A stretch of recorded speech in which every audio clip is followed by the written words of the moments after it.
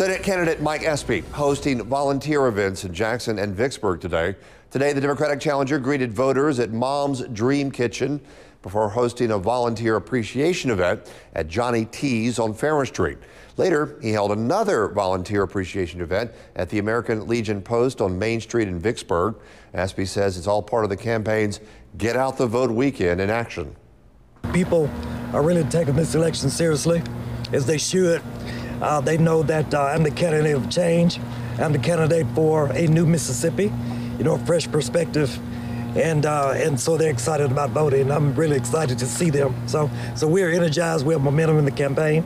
Yeah, Surrogate Get Out the Vote event was also held in Greenville today, hosted by Espy supporter Representative Hank Johnson of Georgia.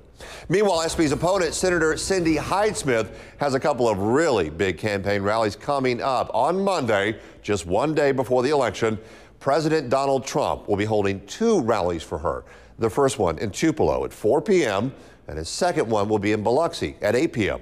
Governor Phil Bryant and Senator Roger Wicker have also endorsed Hyde Smith.